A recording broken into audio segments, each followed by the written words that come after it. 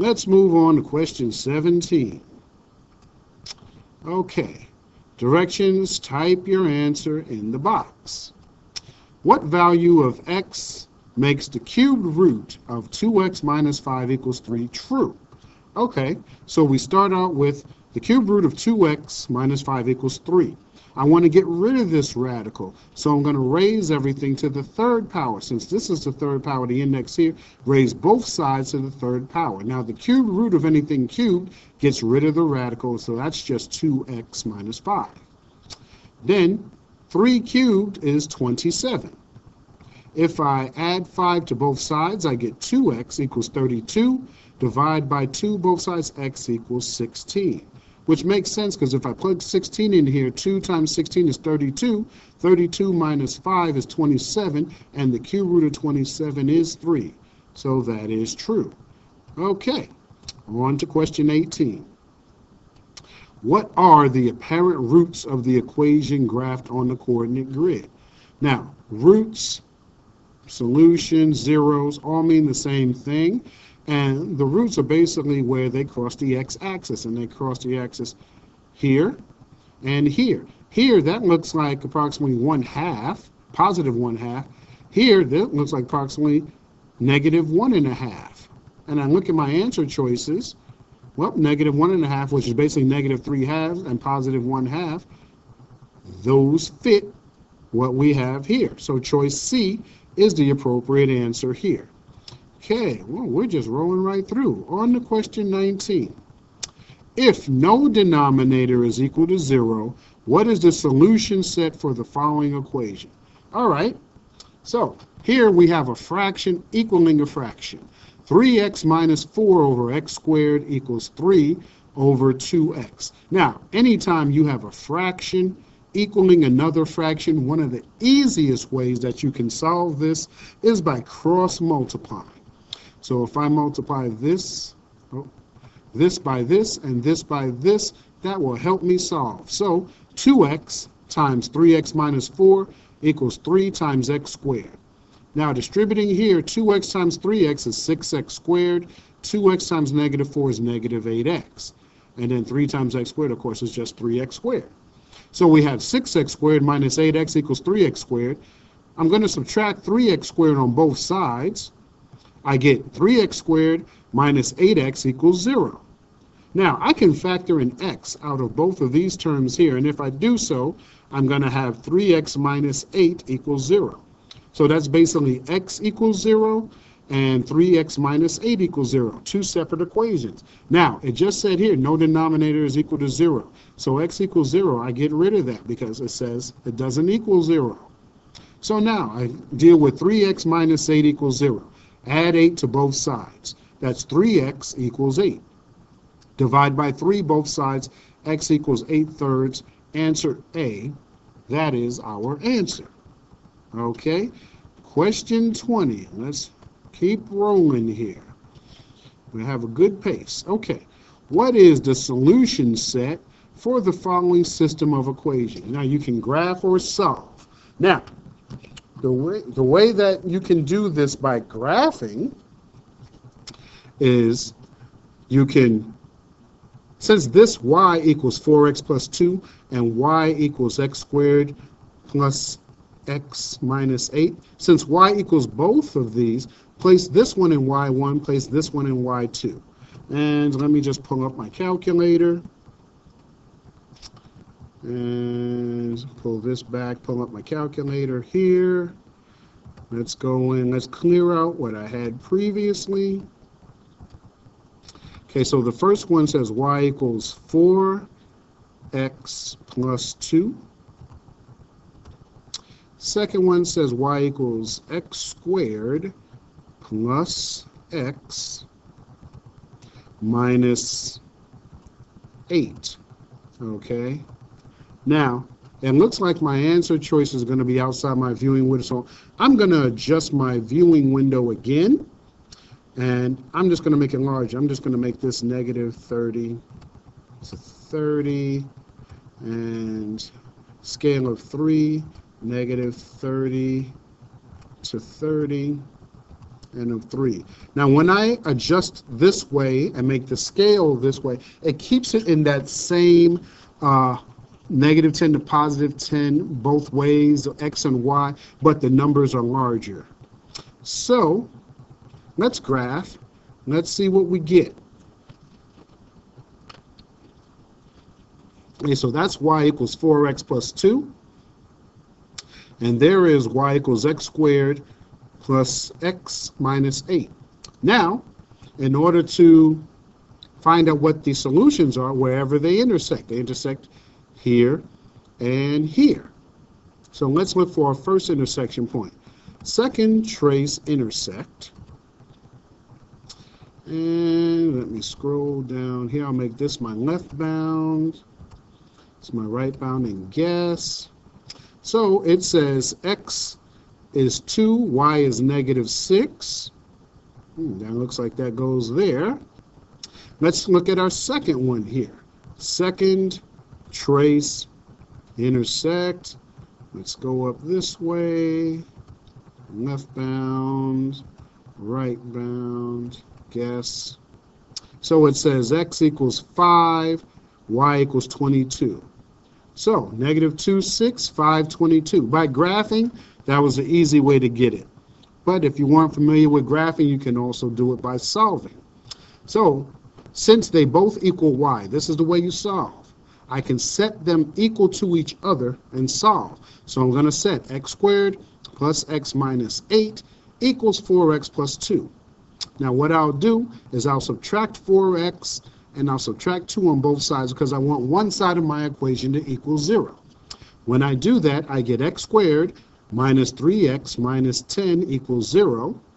And this factors two numbers that add to negative 3 and multiply to negative 10. Well, that would be negative 5 and 2. So I break this down as x minus 5 times x plus 2 equals 0. I set these equal to 0. I said I get an x of 5 and an x of negative 2. So I look at my answer choices, which has an x of 5 and x of negative 2. Answer D.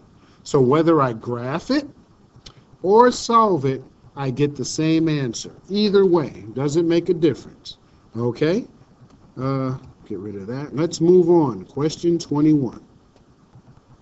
Okay, so it says, identify all the points where the graph of h of x equals x plus 1 times x squared plus 8x plus 16 intersects the x-axis. So, graphing it. Well, okay, let's, well, I put graph or solve. Let's do graphing first. Let me get rid of what I have here previously. All right, so we're going to punch this in. So we have x plus 1 times x squared plus 8x plus 16. Okay, and what I'm going to do is I'm going to set my viewing window back to normal because I stretched out previously, but I'm to set it back to normal and graph. Okay, so you see, because I did this previously, you see what I have on my calculator does this here. All right, so now that I've done it on my calculator, then just look right here. Now it looks like it intersects the x-axis here and here at negative 1 and negative 4. Negative 4, 0, negative 1, 0, which is why I highlighted these two, negative 4, 0, negative 1, 0. That's by graphing. Now, what about by solving? If I simply set both of these equal to 0, I can find them out. Well, the first one, x plus 1 equals 0. Subtract 1 on both sides, x equals negative 1. That one's fairly easy. Now, x squared plus 8x plus 16 equals 0. Factoring this, you know, this should be x plus 4 times x plus 4, or just simply x plus 4 squared. Subtract 4 on both sides, x equals negative 4 here. So, whether by graphing, whether by solving, you get the same answers either way. Make sense? All righty. Question 22. The function f of x equals 1 minus x squared minus 4 is decreasing throughout the interval. So I went ahead and graphed it here. I'll go ahead and do it here for you as well. Let me clear this out. So it says 1 minus x squared minus 4. And we graph that baby. And you see, this matches what I did previously here, right? And then it decreases all the way until it gets here because it starts to go up. Now, if you want to know, because it's decreasing from negative infinity all the way to this point. Well, what is that point? Well, wouldn't that be the minimum point here? It sure would. So let's do second trace minimum. And let's look for a minimum point. About right here, left bound, right bound, guess, and 1. So it decreases all the way from negative infinity to 1, or like a, a, larger picture here, decreasing all the way from negative infinity until it gets to 1. And the only answer choice that matches that from negative infinity through 1 is answer choice B. Okay? Make sense? All right. Wow, this is really easy. Let's go on to question 23. Given f of x, let me expand this here. Okay. Given f of x equals 4x to the fourth minus 15 and g of x equals 2x plus 11, what is the value of g of x of f of x? So that's a composite of functions. All right, so f of x is 4x to the fourth minus 15, and g of x is 2x plus 11. Okay, so basically they're saying take f of x, place it inside g of x. Since g of x is 2x plus 11, wherever I see an x, I'm going to plug in what f of x equals. So instead of 2 of x, it's going to be 2 times 4x to the fourth minus 15. That's in place of the x. Plus 11, because I'm plugging the f of x inside the g of x. So if I distribute the 2 here, that's going to be 8x to the fourth minus 30.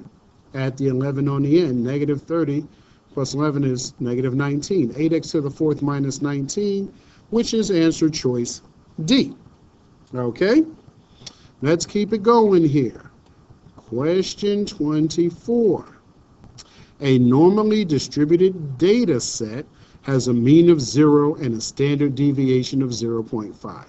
Which is closest to the percent of values between negative 1 and positive 1? Now, you should remember from your statistics, your teacher should have told you about the empirical rule. Some teachers refer to it as the 68, 95, 99, 7 rule. Basically, what the empirical rule states is that for a normal distribution, the percentage of the population within plus or minus one standard deviation of the mean is 68% of the data. If it's plus or minus between two standard deviations of the mean, that's 95% of the data, and plus or minus three standard deviations of the mean is 99.7% of the data. So now, I have a bell curve here. I'm showing the mean. It says the mean is zero, standard deviations of 0.5. So I incremented them 0.5. Now, it says which is closest to the percent of value between negative 1 and positive 1. Well, negative 1 is two standard deviations away from the mean. Positive 1 is two standard deviations away from the mean. This is positive. This is negative two standard deviations. This is positive two standard deviations. So positive or negative two standard deviations from the mean is 95% of the data, which is option D. Okay, that's another easy one that we can answer. Okay, question 25. Directions. Click on the grid to plot the correct point. Point A lies on the graph of f of x equals 1 half x plus 2. Locate the image of point A that lies on the graph of f negative 1x, which is basically the inverse. Whenever you see that negative 1, that basically means the inverse. So our function 1 half x plus 2, that's plotted right here. And we see point A is at negative 2, positive 1. Now, with an inverse, we know that points are reversed. So, all you need to do if you want to find the inverse point, see point A lies at negative 2, 1, switch the x and y coordinates to find the image of the inverse point. So if I switch the x and y, that's just going to be positive 1, negative 2. Positive 1, negative 2. That's going to be the inverse. That's all you need to do for that one. You know, they're not asking you for the inverse function, they're simply asking you for the inverse point. So all you got to do is switch the x and y coordinates. Okay? That's it. Let's go on to 26. Which equation best represents this graph? The easiest way to answer this, plug it in. Plug it in, plug it in. Okay, now I already did this on calculator, and the first one matches, but let me just pull up my calculator just to show you. So let me clear this here. And y equals, clear this out. So y1 equals 3 times 1 fifth raised to the x power. And we graph it. And there it is. Okay, and it matches what I did earlier, right there. And it resembles what they have here. So the first one, we didn't have to do much work at all because our first option matches the graph. Choice A. If you punch in these others, you'll see it does not match here. So in effort to save time, I'm not going to do the other three, but you can do the other three on your own and see that they do not match. Okay, let's go on to question 27. Hmm, what do we have here? If f of x equals x squared plus 3x and g of x equals 2x squared, what is g f of negative 1? Okay, so this is a composition of functions as well. So f of x is x squared plus 3x, g of x is 2x squared, and they're asking you to find g f of negative 1. First thing you're going to do, find f of negative 1. Once you find that value, plug it into g of x. So f of negative 1. So that means wherever I see an x, I'm going to plug in a negative 1. So since x squared plus 3x is the function. So that's going to be f of negative 1 equals negative 1 squared plus 3 times negative 1. Negative 1 squared is positive 1. 3 times negative is negative 3. Positive 1 plus negative 3 is negative 2. So f of negative 1 works out to be negative 2. Now I'm going to take that value and plug it into the g of x. So it's going to be g of negative 2, which means 2 times negative 2 squared which is 2. Negative 2 squared is 4. 2 times 4 is 8, which is answer choice C. Boom. There you go. All right. Question 28. Now it says, the volume of a cone, V, varies jointly with its height, h, and the square of its radius, r. If k is the constant of proportionality, which of the following equations represents the correct relationship between volume, radius, and height? Now, from your class lessons, you should have learned that joint variation is simply just direct variation, y equals kx, with two or more variables. So y equals kx by itself is direct variation, but if you add another variable, it becomes joint variation. Now, what we're going to do, we're going to replace the y and the x and the z with variables from this question. So the volume of the cone, v. So v varies jointly to k. Remember, the k stays there. That's our constant. If k is the constant, then it says it varies jointly with the height, h, and the square of the radius. So radius squared. So v, the volume, is equal to, well, varies jointly, I should say, with the height of the square, the height and the square of the radius. So V equals KHR squared. Now, which one of these match that? Now, answer D, they simply switch the h and the r squared places, but it's the same thing. So option D is our answer. V equals K R squared H. It's the same thing. They just switch places with the H and the R squared. Okay, let's move on.